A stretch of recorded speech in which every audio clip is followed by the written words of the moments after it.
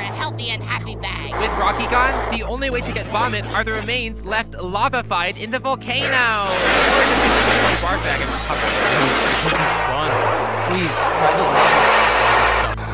So we tried the lava-infused vomit, but... Something was